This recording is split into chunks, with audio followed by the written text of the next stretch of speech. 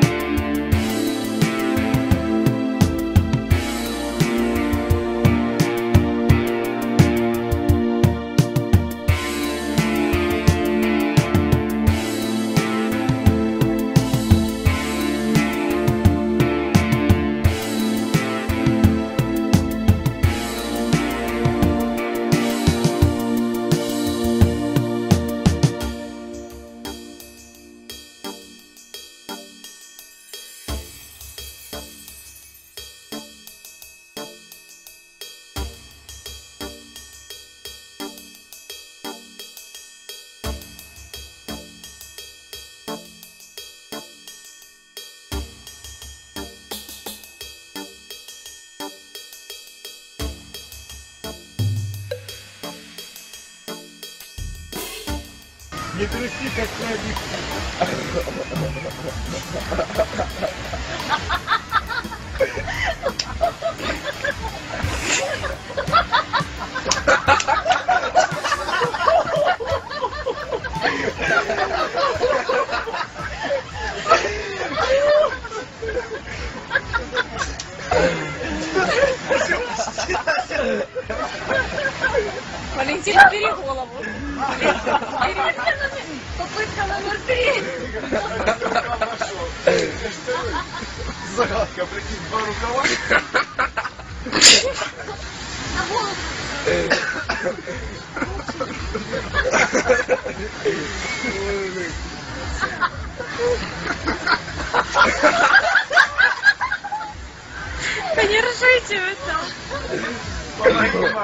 Суми зробили.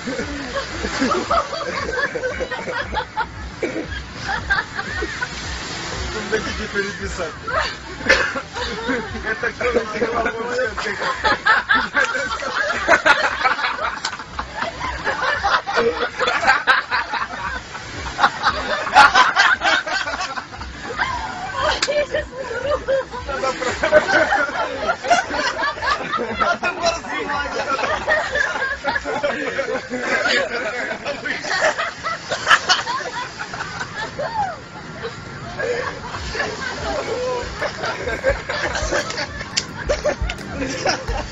Редкие варианты, редкие.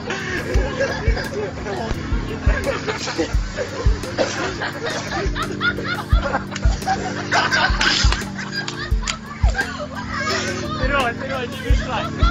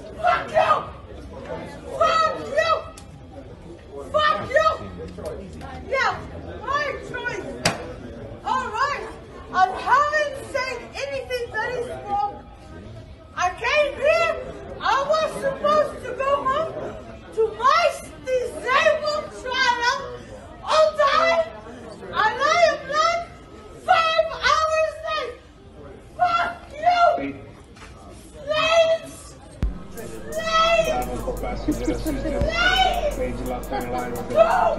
Please,